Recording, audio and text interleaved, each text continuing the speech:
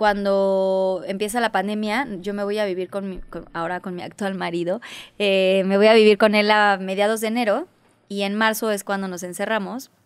Yo estaba eh, por iniciar una gira con JNSKB y la gira se llamaba Rainbow Tour y estábamos en plenos ensayos. Literal, nosotros estrenábamos en junio de ese año. Y bueno, pues de pronto fue, se dejan ensayos, eh, ya nos encerramos. Yo fui de las primeras que dije, esto no va a durar dos minutos, o sea, neta sí es algo eh, grave, pero como siempre soy un poco... Eh, bueno, dicen que soy un poco exagerada, mm. pero la verdad que esas cosas de exagerada luego me, me han funcionado.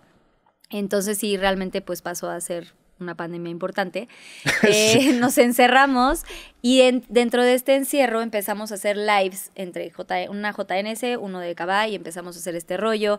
Em, obviamente la incertidumbre de no tener shows. O sea, fue literal un freno muy importante para todos en la vida y en, la, y en nuestras profesiones. Entonces, pues pasa que empiezo a hacer estos lives y me toca hacer uno con el apio y entonces le digo, oye, pero hay que hacer algo diferente. Entonces le dije, mira, yo tengo unos mamelucos, yo tengo un mameluco de unicornio, entonces me lo puse y él se puso otro mameluco. ¿Los lives eran en tu Instagram? ¿En dónde eran? Eh, los lives eran en Instagram desde la cuenta de Rainbow Tour, Ok. ¿no? Que era la gira que íbamos a lanzar. Eh, y justo me acuerdo haber hecho este live con el apio y yo saqué un carrito que tenía y entonces no había muchas opciones para comprar en el súper ni nada de estas cosas. Entonces lo que hice fue, eh, pues de lo que tenía en, el, en, mi casa, que es su casa, eh, prepararme un drink. Entonces yo de que hay, pues hojitas de no sé qué, y entonces eh, me acuerdo que puse tequila con refresco de limón y una cosa de estas, y le puse un poco, bueno, de esta azúcar y no sé qué tanta cosa. Bueno, me inventé un drink y él salió con copas como de, como, con los colores del arco iris, ¿no?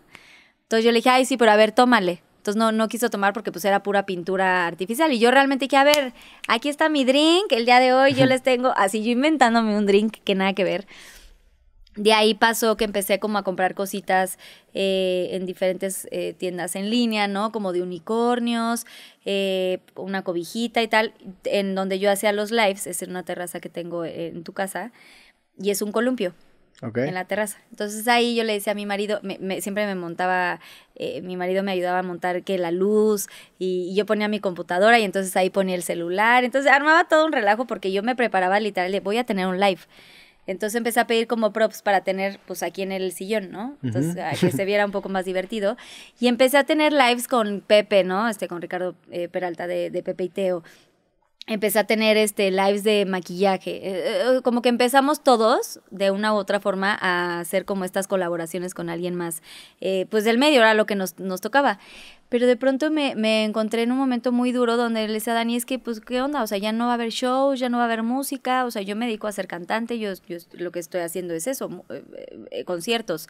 Y pues obviamente sí nos pegó en el aspecto, pues, económico, porque pues pues es mi, mi, ingreso. O sea, yo lo, lo, único que hacía realmente era cantar y, y, pararme en un escenario.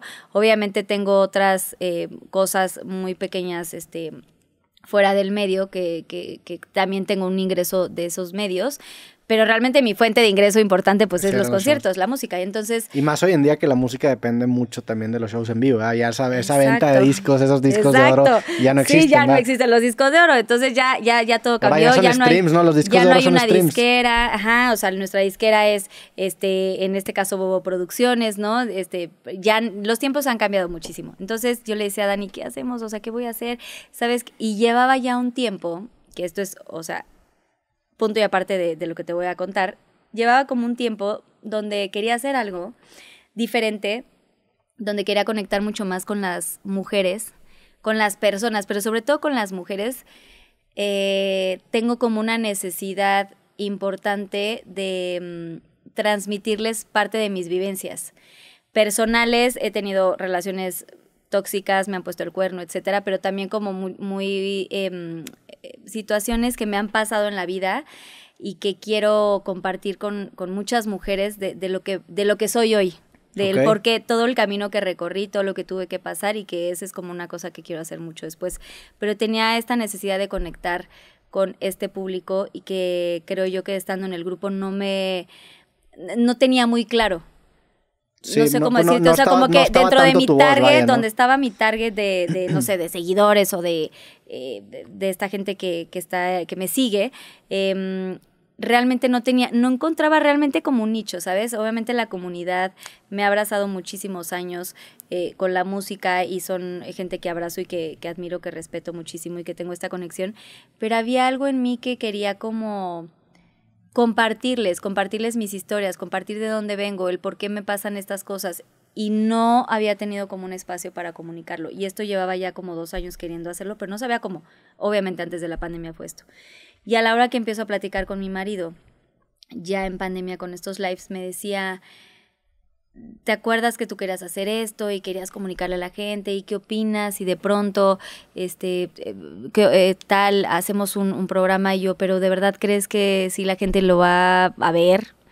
y pues son los 20 mil nos que traemos en nuestra cabeza. Obviamente yo vengo de una escuela de muchas cosas que me pasaron, de muchas inseguridades en donde eh, no eras lo suficientemente buena eh, eh, en tu trabajo, ¿no? En, en, el grupo y, siempre hay gente que en el camino te pues te baja un poco la moral, la autoestima y te hacen sentir como que realmente no no vale tu trabajo o no o no sí, o sea, o no te reconocen tu trabajo ni tu esfuerzo. Entonces, crecí con esta escuela y con estos miedos y con estos tabús y con estas 20.800 tonterías que hoy en día de verdad, este, ya, si hablamos de eso ya sería como, o sea, literal canceladísimo todo. Em, pero crecí con esto, entonces yo quería de alguna forma comunicarlo de una, de, en, en, una parte mucho más íntima. Entonces ahí es cuando mi marido me empieza a decir, entonces nos juntamos con, él ya venía haciendo unas cosas en YouTube con otro programa que tuvieron, este, él y su socio Kike Switch, que por cierto les mando besos a Kike Switch y a, Danny Days, eh, ya habían hecho cosas para YouTube, ¿no? Estuvieron haciendo el frasco y estuvieron haciendo algunas otras cosas, eventos y tal. Entonces... No sé qué habían hecho el frasco. Sí, Ellos, ellos empezaron con el frasco, entonces yo dije, quiero hacer algo y, y, entonces como que ellos platicaron, me dijeron, oye, ¿qué opinas si, si hacemos esta cosa? Y yo sí. Y yo desde niña con mis amigas hacía el Pinky Promise. Con todas mis amigas era Pinky Promise que vírgenes hasta el matrimonio. Pinky Promise que no le vas a dar beso al que con el que acabas de salir. O sea, siempre me acompañó el Pinky Promise, pero no, nunca, de verdad nunca pensé que ese sería el nombre del programa. Entonces, em, ahí es cuando le ponemos este nombre. Yo cada vez que tengo alguna reunión, así como ves el programa, siempre recibo a todos de, ay, sí, vénganse, no sé qué, un drink, y vamos a hacer un juego. O ya empieza a pasar la noche, y te, te, te decía hace rato que soy súper sociable, entonces empieza a pasar la noche, y aunque haya gente que no conozco, o sea, de que el novio de la amiga que llegó, o la novia, o, o algo, siempre hago dinámicas. O sea, el yo nunca, nunca siempre lo hago en las reuniones. El basta, siempre de, ay, hay que jugar algo. Eh, no sé, siempre empiezo a preguntarles, oye, si alguna amiga lleva por primera vez a su, a su chavo, ¿no? Este, y, y, está como que medio tenso, yo, a ver, dime tres cosas por las cuales te gusta estar saliendo con tal. Entonces yo ya sabes como momento súper incómodo, pero soy muy de esas y entonces como que siento que es una parte que, pues que es inevitable, porque aun cuando no... O sea, tú serías la persona que yo evitaría en reuniones. sin, sin problemas. Seguramente, pero no sabes de verdad la gente cómo se la acaba pasando también. Y, y, algo que me he dado cuenta, y no solamente yo, porque uno puede decir, ay, claro, güey, se la pasaron cañón. Este, literal la gente que va, o hasta mis, inclusive mis mismas amigas, es como, güey, güey, gracias porque rompiste el hielo y porque siento que mi amigo, este cuate estaba súper incómodo de ir a tu casa, o no sé, como que eventualmente me pasa. Y casi siempre, o sea, el 90% de las reuniones que hay con mis amigas siempre acaba siendo en mi casa.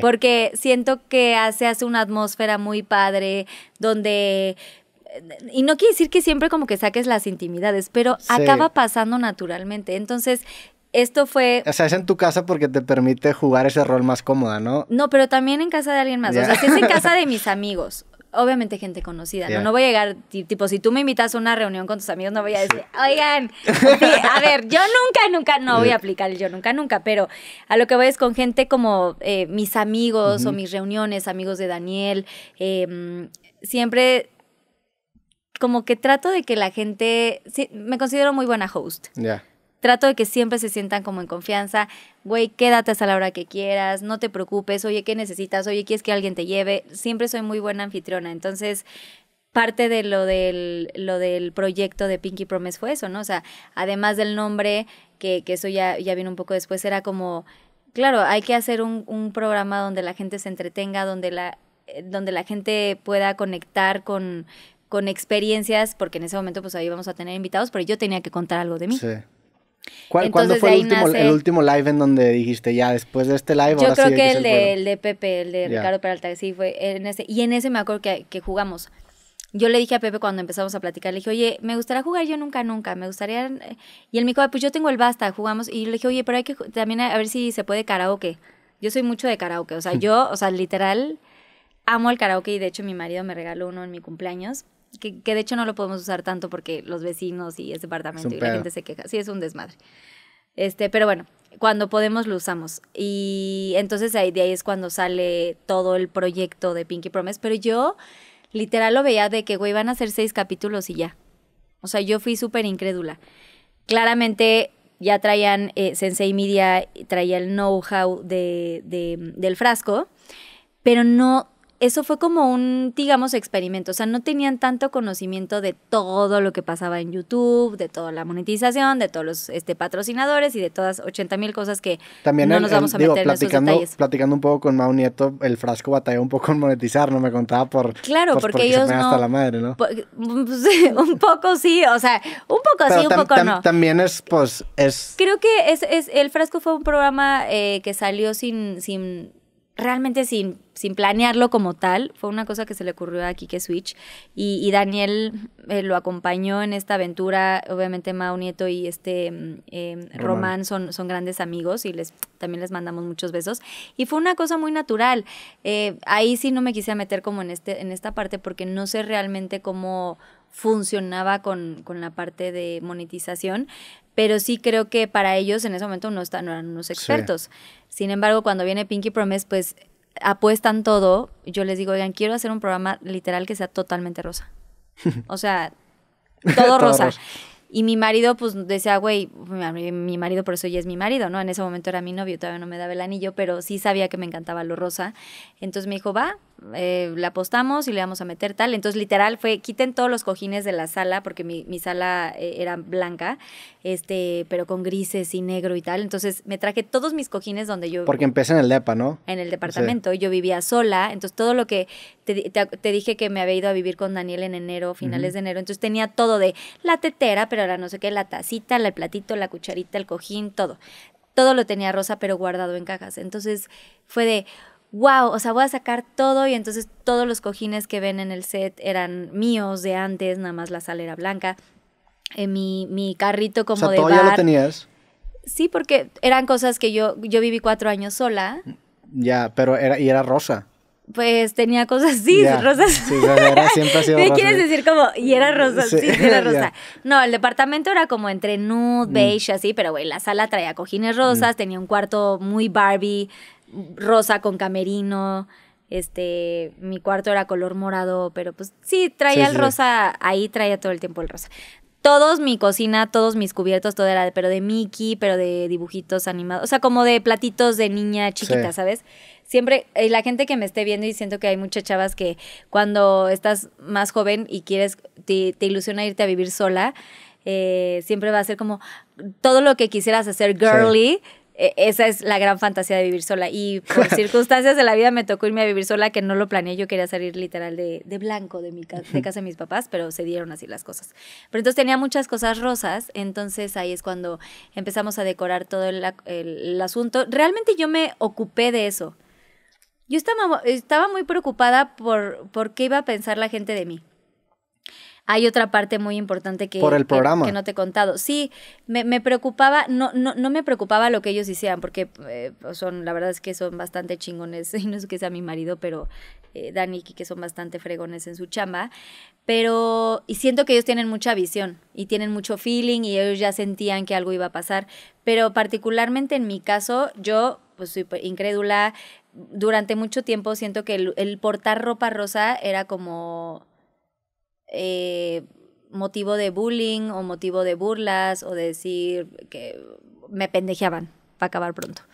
en muchos lugares. En muchos círculos por sí, en muchos círculos. Y te acabo de decir que se, yo siempre... se relaciona con inocencia, con... Pues sí, como que, no sé, Legally Blonde, tú la viste, ¿no? La película que desde ese tiempo me gustaba. Yo me acuerdo haber hecho un comentario, creo que en una entrevista, de que me había gustado eh, la parte rosa, pero sí, o sea, yo lo veía más por el lado de, de que la chava no se rindió por este mm. güey, no sé cómo decirlo como que esta chava le, le chingó para poder llegar al, a la escuela de leyes y tal y superarse. O sea, tal vez podría sonar como muy tonto, pero yo le veía algo más que el simplemente vestirse de rosa y el cachorrito y el salón de belleza y toda esta mamada que, que también me encanta.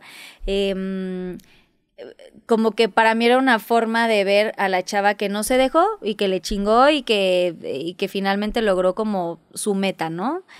Y en algún momento me acuerdo haber comentado, en esos tiempos, en, cuando salió la película, haber hecho un comentario y sí como que recibí comentarios de, güey, no mames, o sea, qué pendejada. Porque se estaba estrenando la película y emití un comentario sobre esa película, ¿no? No, eh, no sé, raro. Y de eso y muchas más. O sea, te acabo de decir que yo soy súper sociable, entonces de pronto estaba así en una cena con tal y, no sé, platicaba de algo y yo, sí, güey, es que me encanta el rosa, ¿no? no o sea, no, no me acuerdo puntualmente de qué comentarios, pero güey, neta, ay, qué cursi, güey, qué hueva, ya, no. O de pronto ponerme como algo rosa, ¿no? O sea, por ejemplo, ahorita un suit rosa, que este está muy flashy, pero tipo un rosa palo, así, rosa clarito. Entonces, como, güey, y era de noche el evento, ¿no? Entonces está con negro y trajecito rosa, entonces como era como, güey, qué rara persona. Tendrá que vestirse de negro, tendrá que vestirse de, no sé, también, también bueno, a lo mejor soy yo, soy yo, pero también siento que es algo que pasa mucho en el mundo de las mujeres, ¿no? O sea, porque yo, yo no tengo como esa sensibilidad de, de, ver a alguien de rosa. A lo mejor inconscientemente quizás, pero no, o sea... Pero también tiene bueno, ¿quién mucho sabe? que ver porque, Porque, por ejemplo, si veo a un amigo que tiene una camiseta naranja, jamás le pediría consejos de moda. Definitivamente. O sea, para mí la camiseta naranja arruinaría o sea, si le pregunto que, oye, ¿te gusta esto no? Y vi que usa una camiseta naranja, ni de Entonces, bueno, se me hace que ya también peco de lo Siento que a veces como que estereotipan y también creo que eh, tiene que ver mucho de, la, de las cosas que platicas, ¿no? O sea, soy una persona que toda mi vida ha sido bastante inocente, o sea, vive en mí como esta magia de las princesas y de que todas mis relaciones era como, güey, el príncipe azul, pero, pero de una forma, o sea, sí, a ver, sí las princesas, pero también acompañada de una forma realista. O sea, no vayas tú a creer que era como, ay, claro, el príncipe y el vestido. O sea, sí, sí, pero no. O sea, entre que sí, pero que no. También lo interesante de los colores es que su interpretación o su lectura social es algo contingente. O sea, es algo que depende mucho de la etapa en donde estás. Por ejemplo, el color morado antes era un color que era de muchísimo lujo porque era muy difícil de poder conseguir. Creo yo que quizá el rosa agarró esa parte negativa hoy en día, pues porque también se intenta romper mucho los roles de género estos últimos años, ¿no? Claro. Entonces el rosa se asocia mucho a el rol de género de la mujer y el azul a hombre, ¿no? A hombre, Entonces gravitar como mujer hacia el rosa es decir, bueno, yo prefiero quedarme con esos roles fijos, cuando en realidad es un color, o sea, es una decisión estética, ¿no? Sí, o sea, sí creo que el, color no te define, ¿no? No, claro. O sea, cualquier color que, que te identifiques. El naranja sí, dices mi madre. Sí. No, pero eh, tenía que ver mucho con, o sea, muchas cosas, ¿no? Como de pronto había, no sé, amigas que se estaban peleando por alguna cosa y yo, no, no manchen, pero es que ¿por qué se van a enojar? Pero es que tal. O sea, como que siempre trataba de, he tratado de ver la vida color de rosa de alguna forma. O sea, no ser una persona problemática, no ser una persona que genera odio, no soy una persona que, que, que, que, soy envidiosa, ¿no? O sea, con alguien más. Al contrario, me gusta que a la gente le vaya bien. De pronto nos encontramos con momentos ahora muy fuertes entre mujeres y lo que acabas de decir, que, que tú te vistes como para otra mujer y no precisamente para tu pareja, porque pues sabes que entre mujeres luego es, es esta parte de, eh, de envidia o del ego y, y, es una parte que está totalmente alejada de, de lo que es mi persona. Porque... a mí, por ejemplo, se me hace fascinante lo del color blanco en una boda, ¿no? Que ponerte blanco en una boda, no siendo tú la, la, la, que se casa, es... Hay como que un... de incomodidad. que está extraño, ¿no? Es, sí, y, y sí hay personas que lo hacen. Sí, sí, sí. Y es, es, es horrible que porque también yo no entiendo por qué lo harías si, si sabes que existe ese riesgo de que la persona que te está invitando a su fiesta. Pues porque es una persona que consideras que es tu amiga y y de ninguna manera te va a hacer la o sea, Tú, lo, tú lo verías como una ofensa si alguien va de Totalmente. O sea, sí, sí, ¿no? Hay como un, un protagonismo. Por alguna razón se inventaron los códigos de vestir. Sí. O sea, tú vas a una fiesta eh, muy fifi y te dicen, ay, este, bojo chic, ¿no? Este, tal. Pero pues una boda seas, es de toda la vida sabido que no puedes ir vestida de blanco, porque la, la, novia es la protagonista de, de, la fiesta y es, es su momento, es un momento muy especial. Y de hecho yo por eso estoy un poco en contra de estas bodas donde mm, invitan a tan, así de que, güey, boda de 1500 personas, no mames. eh, invitan a tanta gente que ni siquiera son su gente más cercana y nada más por invitar y tener la gran fiesta Invitas a tanta gente que no son tan cercanos. Siento que una boda cuando las personas que están tienen que ser realmente tus personas más allegadas. Entiendo que de pronto en la parte de la chamba pues tienes ciertos compromisos, ¿no? Este que si no te sales al pedo todos los fines, pero pues es gente de tu chamba que tienen que estar.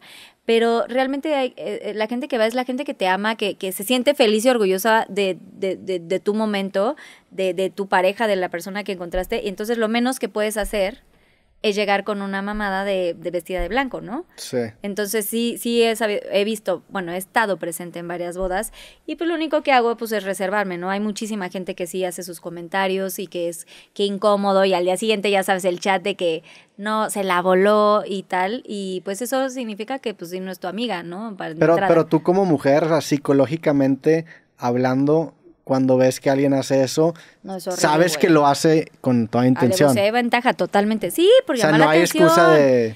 A ver, eso habla mucho de, lo, de, la persona que tú eres. Va más allá de que sí, o sea, ya, la, ya estuvo muy mal, fue de muy mal gusto que fueras de blanco. Pero habla de lo que tú eres como persona, de lo que tu ser, tu, tu interior es en la vida. Ya. O sea, no, no, no, no, no, no, se, no se termina con que nada más fuiste vestida de blanco a la boda, niña. O sea, es eh, cómo está tu, tu, vida en general. O sea, eres una persona eh, mierda, eres una persona que eh, te gusta como sobresalir y te gusta como esto, hacer cosas malas.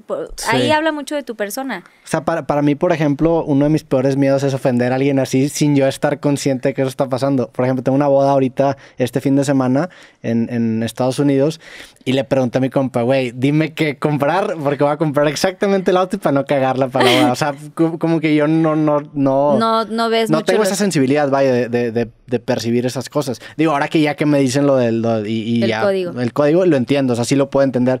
Pero en primera instancia no, no sería lo que yo me hubiera dado cuenta. Mira, realmente es básicamente es con las mujeres. O sea, con la novia. Mm. Yo sé que el novio también es importante, pero... Pero, eh, en la boda no, o sea, en la boda la verdad es pero que la verdad es, que las bodas es la de la, de la, de la, de la novia, ¿no? O sea, la novia la que va vestida de blanco, o el novio que va vestida, vestido de blanco, también es, es, este, ¿no? De, de, del el que recibe el anillo o la que recibe el anillo, pues es su momento. Em, en muchas eh, fiestas y en muchas bodas hay un código de vestir que siempre se te manda en la invitación, pero no, no, no le veo mayor tema por ejemplo, en, en, los hombres, pues sí, si es tu amigo, pues sí preguntarle si es con corbata, o sea, etiqueta, etiqueta rigurosa. Más que nada porque es una boda en Estados Unidos que no. Porque a veces hasta se aplica. Es en civil, aparte, o sea, es una boda. Pues a veces hasta se aplica trajecito, camisita, no corbata y tenis. O sea, siento que últimamente se dan mucho ese tipo de bodas. Pero, güey, luego también me ha tocado de que no viste el código de vestir, hermano, así todos de smoking y no falta el que llega de que, güey, camisa abierta sin ni siquiera corbata, ¿no? O sea, no sé, como que eh, la boda es muy especial, es un momento muy especial y creo que si ya estás invitando a la gente, pues bueno, lo mínimo que puedes hacer como invitado es ver la invitación y decir, bueno, le voy a echar ganitas. Evidentemente hay, hay veces, como pasa mucho de smoking, pues no, no todo mundo tiene un smoking así guardado en su cuarto, ¿no? En, su, en su closet está la opción de rentar el smoking o el vestido. Yo en algún momento tuve una tienda. bonito en una camisa que no sea smoking. Exacto. Yo, yo la verdad es que hago eso muy O, o renta de vestidos, ¿no? En el caso de, de, mujeres que es etiqueta rigurosa, pues son vestidos de piedras, etcétera. Yo eh, te voy a contar que en algún momento, mucho antes, fíjate cómo toda la vida me, me iba acompañando el Pinkies. Desde niña también me dicen Pinky. Esa es otra cosa importante que me faltó decirte, ajá, porque me gusta el rosa. Pero en algún momento este saqué una tienda de renta y venta de vestidos para fiestas. Ok. Pensando en justamente estas cosas. Entonces estaba ahí por Cuapa, porque de ahí son mis, de, ahí es mi familia, de, de, bueno, ahí crecí en esta casa. Y entonces a unas cuadras de ahí había un local. Y entonces em, puse una tienda que se llamaba Pinky's Dress y era literal y eran venta y renta de vestidos de, pues de esto, de noche, para por la gente que no tiene un vestido en su cuarto, en su closet, pues ahí podías ir a rentar un vestido. No tenía para caballeros, pero bueno, ese es un proyecto que más adelante seguiré este, eh, construyendo. Y el proyecto Pinky Promise, el, primer capítulo, ¿qué tan bien le fue? O sea, ¿qué tan rápido fue el, crecimiento del, del, proyecto? Lento. Al principio fue lento. De hecho, eh, te estaba comentando que yo pensé que iban a ser seis capítulos nada más. Este, súper incrédula. Eh, comenzamos con dos followers. Comenzaron con dos followers. Ajá pues mami, mi marido y mi socio Kike, o sea, éramos los únicos, eran los únicos que me seguían, sí, con dos followers. Em, es que también el, público era, eh, o sea, bueno, te lo pregunto, ¿es muy distinto al que tenías en el grupo, al que tienes en el grupo? Es otra cosa diferente. o sea, yo sí lo veo muy distinto, ¿no? Eh, ya ni siquiera crees que distinto. O sea, yo te, conocí antes por Pinky Promise que por, por el grupo. La gente, la gente, qué bueno que lo dices, porque sí, la gente que ve, que ve Pinky Promise no sabe ni siquiera que canto. Sí, o sea, yo no sabía hasta hace poco, ¿no? Ajá. La gente que ve Pinky Promise es otro público, otras generaciones, otra cosa. Bueno, también te quiero decir que tengo un target bastante amplio em, de, de todo, pero también de muchas mujeres, que eso me encanta de niñas de 13 años hasta 45 años, 47 años.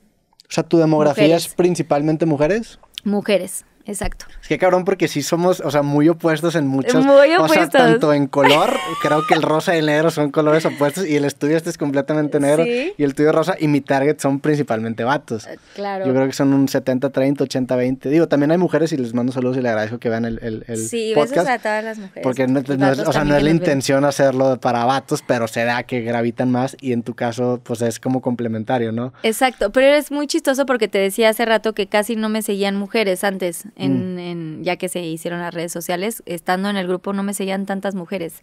Y este fue un espacio que me abrió em, eh, a esto, a conocer más, a tener mucho más comunicación y mucho más este, empatía con, con mujeres. Empezamos y literal, pues sí, o sea, empezó a crecer el programa muy, al principio lento, pero pero digamos lento pero seguro. Mm. Y había algunas marcas que queríamos y pues decían, no, pues es que no tienes followers, es que no, mija, pues no. Claramente yo ahí jugué mucho el papel de ventas, o sea, de los contactos que yo, pocos que yo tenía. Em, con Dani, con Quique, hicimos un trabajo importante, pero pues todo era como la pandemia, ¿sabes? No podíamos hacer demasiado fuera de casa porque pues no podíamos. Eh, teníamos a seis personas de producción literal en casa, que eran los que del departamento se iban a sus casas y regresaban todos con traje. Para esta primera temporada. Para la primera temporada. ¿Le, meten esta infraestructura de esta empresa, cómo se llama? De Sensei Media. De Sensei Media. Sí, bueno, no teníamos, realmente Sensei Media pues era la empresa, pero eran metimos a seis personas de las que trabajaban en esta empresa porque no podía meter tanta gente a mi casa. Eh, paréntesis, yo llevé a mis papás en, esa, en ese tiempo que, que fue la pandemia. Mi papá tenía cáncer en ese momento y mi mamá tiene diabetes. Mm. Entonces, lo primero que le dije a Dani es, güey, necesito traer a mis papás aquí porque si no, no voy a tener paz. Entonces me dice, güey, por supuesto, tráetelos tal. Entonces ya se van a vivir con nosotros. Y yo decía, güey, pues no va, ¿cómo vamos a meter gente aquí? Y mis papás vulnerables, ¿no? Sí.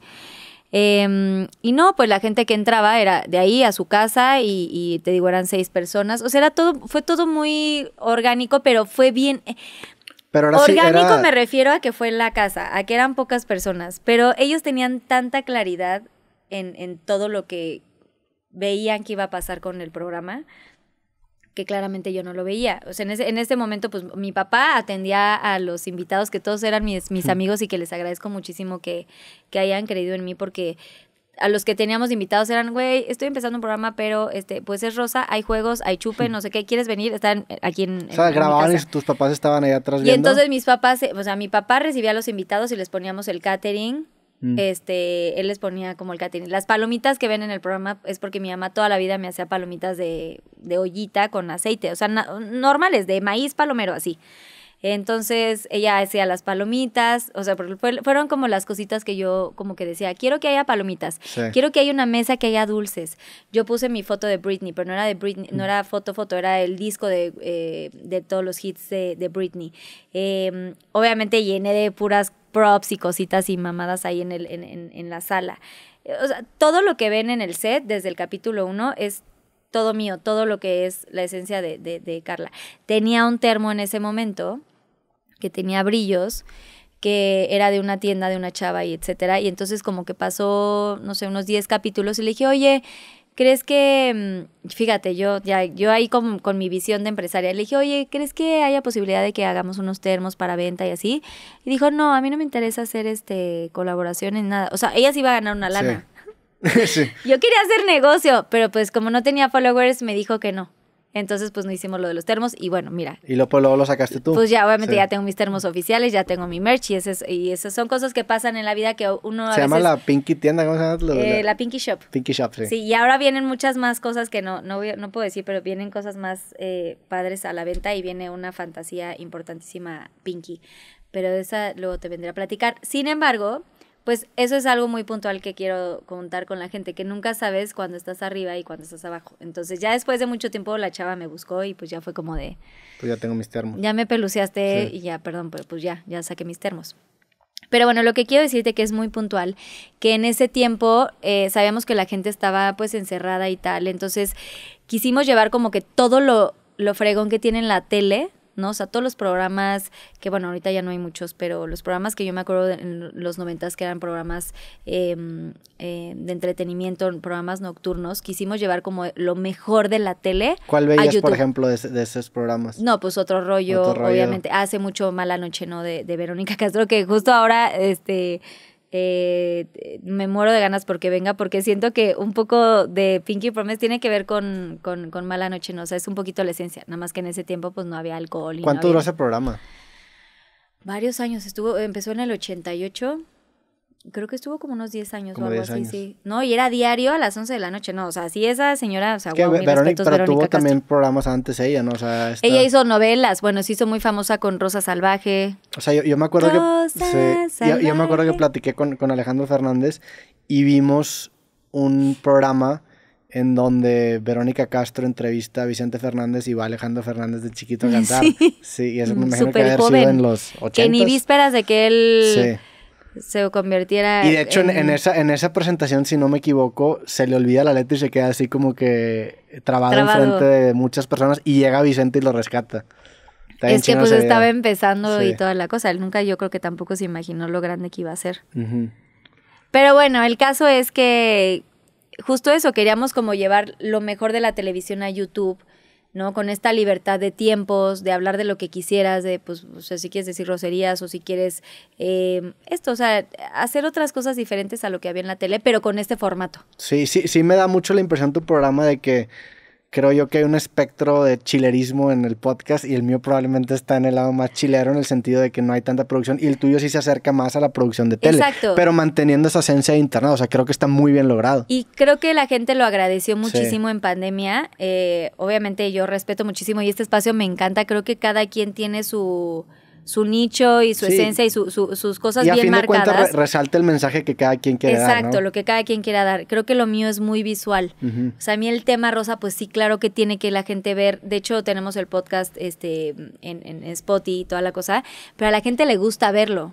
O sea, sí. lo pueden escuchar y te, está padre, pero mi, mi, mi, nicho más grande es, es en, YouTube, porque pues les gusta ver y, y, me preguntan, pero qué tantas cosas tiene en la mesa, ¿no? O sea, todos los detalles que pongo, pero los dulces, el carrito de dulces que en un principio no, eh, ¿por qué no se comen las papitas del carrito? O sea, la gente es muy visual, pero a lo que voy es que sí, eso, la gente agradeció mucho ver este tipo de contenido también elaborado y también hecho, em, que era una pues necesidad, tal vez de, de, Daniel y de Quique, de llevarlo a YouTube, ¿no? Porque ellos ya venían, te digo, con lo del frasco, pero no lo habían hecho tan en forma y, y Pinky Promise les vino a dar esta esta cosa diferente a toda la gente que estábamos pasando la pandemia y que le estamos viviendo tan mal, creo que ayudó muchísimo también porque mucha gente se encontraba con historias que platicamos, con muchas cosas que yo había contado, de pronto también como que la gente me estereotipaba y decía, ah, no, pues esta niña nació y famosa y todo se le dio súper sencillo.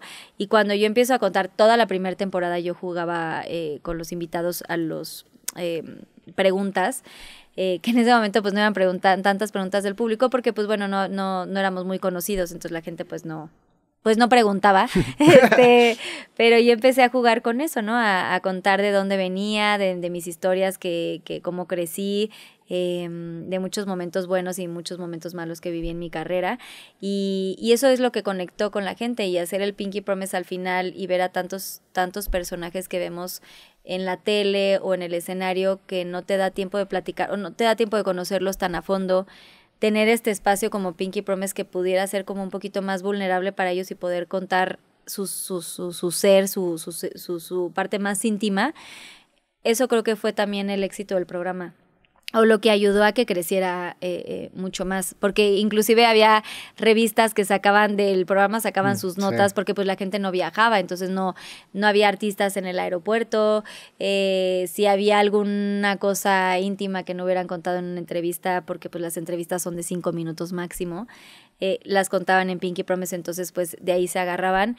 Entonces creo que es un, es un programa bastante bondadoso hecho con mucha calidad, te repito, o sea, sí fue un híbrido entre la tele y el, el, el, YouTube, el YouTube, la, parte digital digo, em, pero eh, creo que el, el, factor más importante, pues sí, fue el estar encerrados, el estar tan vulnerables y el, el contar tantas historias tan íntimas, primero que nada mías, que, que la gente no conocía, y, y de los invitados. En la parte de conducción del programa, ¿qué, qué, qué experiencia tenías ahí o qué crees que fue lo que te preparó más? ¿Tu personalidad?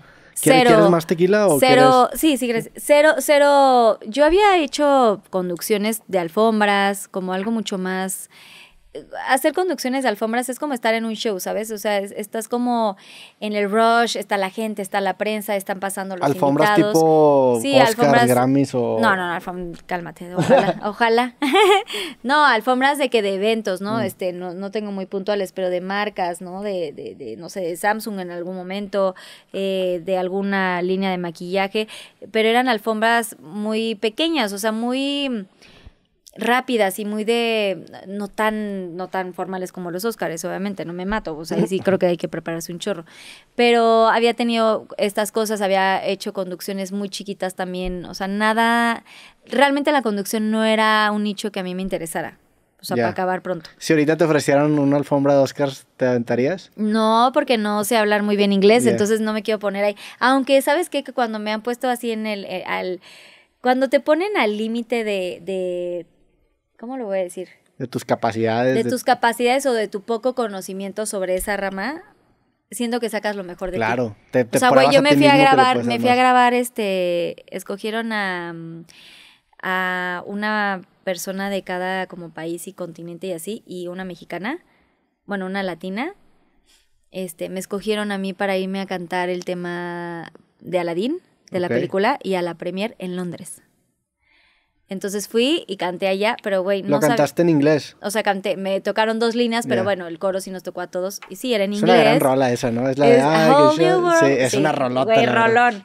Rolón y pues obviamente esa, esa canción significa mucho para mí porque aparte cuando empecé a salir con mi marido, con Danny Days, la cantábamos mucho en Disney y tal. Long story, pero bueno, ya te contaré esa parte. Y entonces cuando me voy a grabar, pues de entrada en Londres no hablan español y todos los que iban eran de otros continentes, pero no había nadie, o sea, de Estados Unidos no había nadie y no había nadie de pues, México, este, eh, Centroamérica, Sudamérica, nadie, o sea, era la única latina. Entonces, pues imagínate, yo estaba con que, güey, ahora cómo chingados me comunico, ¿no? O sea, me llevé a mi hermano en ese momento que hablaba, este, pues según él bien inglés, pero estaba más nervioso que yo, entonces, pobrecito. Yo, güey, pero ayúdame, diles, y es que no sé qué. Y no, no sabía comunicarme y pues tuve que ir a cantar ahí. Entonces, pero siento que saqué lo mejor de mí en un. Ya después de dos días yo estaba así como pez en el agua hablando con todo el mundo, con una turca y con no sé qué, o con otra hablaba italiano. Eh, pero siento que sacas como que lo mejor de ti cuando te ponen como al límite. Pero bueno, justo esto de la conducción no era mm, de lo que más me gustaba o a lo que me quería enfocar. Y creo que más bien lo que pasó con Pinky es que pues eran como eso, estar en una sala con amigos, como lo que siempre hacía. Y, platicar con amigos. Porque sí, más de que hecho, conducción era platicar. Porque de hecho los primeros programas eran amigos, es lo que, lo, lo que te estaba contando, es eso, que, que, que les hablaba yo, güey, pues fíjate que va, es un programa de YouTube, pero pues estamos lanzándolo y tal. Entonces, todos los que fueron, o sea, Pepe y Teo, pero este, Lambda, pero Ferca, pero este, Tania Rincón, eh, Jordi, Bárbara Islas, o sea, todos los que fueron, eh, digo, no quiero dejar de mencionar, Mariana Echeverría, todos, este, todos los primeros, las primeras dos temporadas fueron amigos.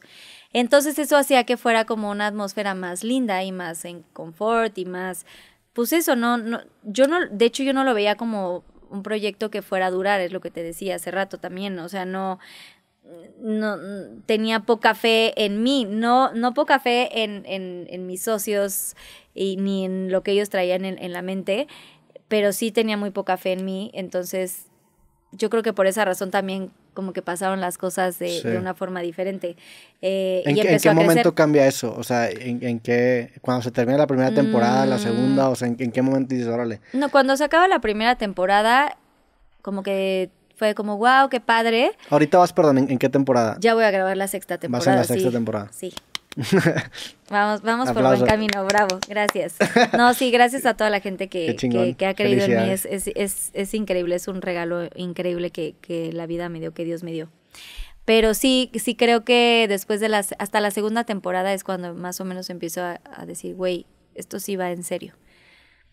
Tanto la pandemia como el, como el proyecto, ¿ah? Sí, o sea, no, no, la pandemia yo desde que, no sé, de hecho yo fui de las primeras que dije, yo ya no voy a ensayar, bye, ay, eres una exagerada, no sé qué, yo me fui a encerrar. Y más porque me preocupaban mis papás. Claro. Entonces ahí pasó todo esto, pero sí creo que hasta después de la segunda temporada, de hecho nuestro primer patrocinador fue uno de, de pizzas y este... Y yo decía, güey, no mames, ya hay un patrocinio, wow, así no manches. Y de los, de los Pinky Drinks también hubo una bebida, un, un gin que, se, que fue el primero en, en, entrar, que de hecho ahorita ya también entró en, en, la quinta temporada, se volvió a unir. Pero yo decía, güey, ¿cómo? O sea, realmente sí les está gustando, o sea, wow, no lo puedo creer. O sea, los Pinky Drinks también eh, fue una cosa mágica porque la gente nos ponía como, güey, ya preparé este, ya preparé el otro. O sea, como que siento que atrapó mucho a la gente eh, estando en pandemia porque pues estaban eh, pues alejados de sus familias, pues obviamente sin, sin, sin estar en su vida cotidiana, sin la pareja, sin el trabajo, sin muchas cosas. Y, mm, y, creo que eso Pinky Promise les dio este como lugar, siento que fue como, como un lugar seguro. Sí. Para todas esas personas que estaban pasándola tan mal. Eh, y eso es justamente lo que yo hacía. O sea, si, si bien no creía que iba a ser conductora y que no tenía mucha fe en el proyecto, sabía que muchas de las personas que vieran el programa se iban a poder identificar, que iban a poder por lo menos tener un momento de alegría de lo mal que le estábamos pasando, porque yo creo que cada uno de los que vivimos la pandemia lo vivimos de diferente forma, pero como que nunca te imaginas eh, nunca nos imaginamos que iba a durar tanto y tantos meses y, con tantas pérdidas. Eh, yo tuve a mi papá enfermo, no murió de pandemia, pero falleció justamente ese año en diciembre y también me las estaba viendo bien duras con, lo de sus medicamentos. O sea, cada una de las personas que veía Pinky Promise, siento que pues como que veían esa lucecita de esperanza, ¿no? De, de tan solo prepararse un drink o de escuchar a, alguien que admiraban, claro. eh, escuchar sus historias. el formato podcast o sea, el formato conversación genera un sentido más cabrón de compañía, ¿no? Porque a diferencia, por ejemplo, de un blog o de un video así muy cortado, sabes que como que te está dando un discurso. El podcast o la plática pues acaba volviendo como un acto de espionaje de la audiencia, una conversación que estamos teniendo, ¿no? Y por eso creo yo que despuntó tanto ese formato, porque mucha gente se sentía sola, mucha gente estaba encerrada y el podcast era como esa manera de sumergirse en la compañía de una conversación de dos personas que se conocían y por eso el formato despuntó. Y te pasó a ti, a mí mi proyecto creció mucho, la cotorriza creció cabrón, o sea, muchos de esos, de este tipo de proyectos en ese momento les fue muy bien por lo mismo, ¿no? Porque es, diferente el formato. Sí, había gente que vivía solos en su casa y entonces sentirte acompañado, sentirte como en una fiesta, ¿no? En una jarra de fin de semana, eh, estar escuchando historias que tal vez tú estabas viviendo o que nunca pensaste que alguien más estaría viviendo o compartiendo eh, esto, sentirte acompañado como de, güey, no estoy sola aquí en mi casa, están otros personajes ahí. También el, tema escenográfico era fue muy importante para nosotros y por eso te decía lo de, además de que era rosa, eh, tratamos de cuidar todos los detalles, ¿no? Que el cuadro tuviera glitter, que tuviera como estas texturas en peluche, la mesa, pero el sillón, o sea, yo y las lucecitas, ¿no? Este, que estuviera como muy iluminado, muy mágico. Y, creo que esa era la parte que a mí realmente me, me, ocupaba o me preocupaba en su momento. O sea, que realmente el proyecto fuera a, a cruzar esta línea y que pudiera como más allá de que si conducía bien, si conducía mal, si iba a pegar, si no iba a pegar, o sea, que, que lo que por lo menos la gente viera le atrajera y que los hiciera pasar un rato mucho mejor del que estaban pasando. Entonces siento que esa, esa parte también ayudó muchísimo y conectó.